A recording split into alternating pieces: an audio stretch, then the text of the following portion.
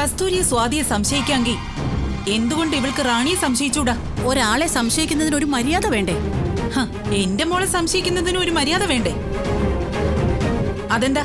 നിന്റെ മരുമോൾക്ക് മാത്രമേ മാന്യതയും മര്യാദയും വേണ്ടു?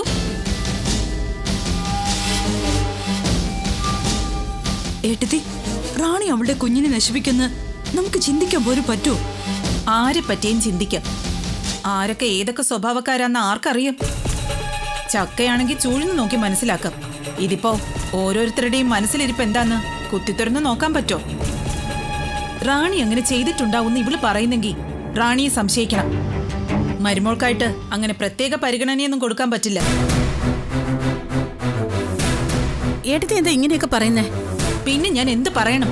എന്തുണ്ടായാലും എല്ലാവർക്കും എടുത്തിട്ട് തല്ലാവുന്ന ചെണ്ടയാണോ എന്റെ മോൾ?